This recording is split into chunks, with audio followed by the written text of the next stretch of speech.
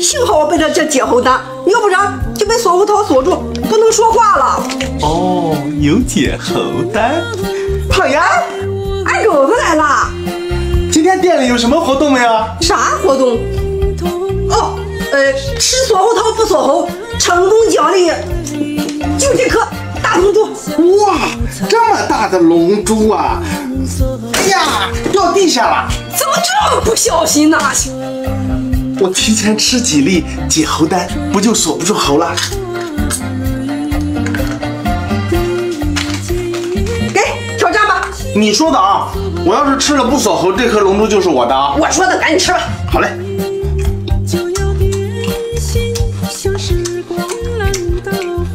嗯，啥事没有。你看，没事吧？这龙珠是我的了，